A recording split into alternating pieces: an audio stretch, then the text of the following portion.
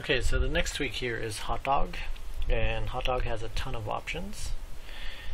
And basically what Hotdog does is, let's go to the options. Here we go.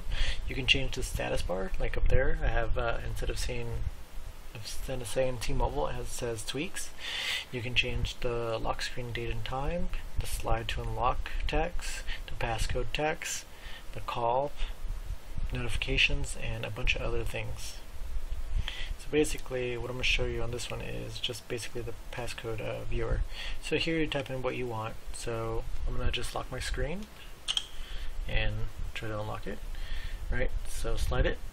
There you go. Instead of saying uh, whatever it says, I forgot now. I have it touch me. And let's say I type in whatever. You can see I also changed the emergency into a little ambulance, which if you have kids, I guess I wouldn't do this because uh, they might want to click that. but I mean, you can change to whatever icon you want. Or uh, if you want to cancel it with a thumbs down. And uh, if I'm doing the fingerprint, let me just try that again it actually took my fingerprint. So let's say I want I'm doing the fingerprint, right? And it fails.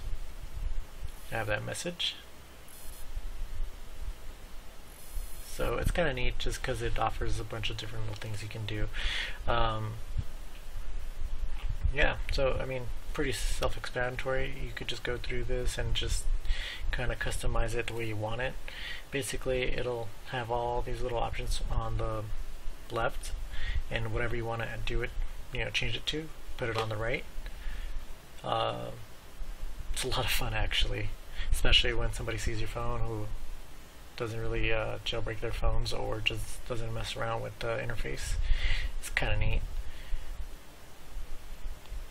So yeah, super. It's a super easy trick to use, and uh, for most of them, you don't have to respring. I believe the only one you have to do respring for is if you're changing the carrier text. So yeah.